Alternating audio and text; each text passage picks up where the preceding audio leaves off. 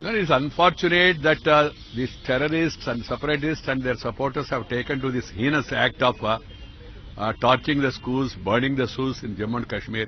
You want to burn the knowledge. You want to burn the future of your children. This is totally condemnable. And Pakistan should realize it is following a suicidal method. After all, you know, this terrorism is like a Bhasmasura Hasta. It will eat the persons who encourage it. That's what is happening.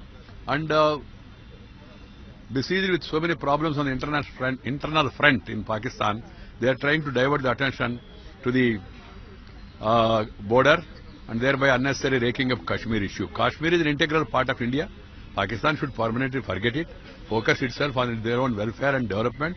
This is what the Prime Minister of India, Sri Narendra Bhai Modi has said, that both of us focus on our respective countries to fight against illiteracy, to fight against uh, poverty, to fight against discrimination, etc. That is what they should do. But unfortunately, they are not doing it.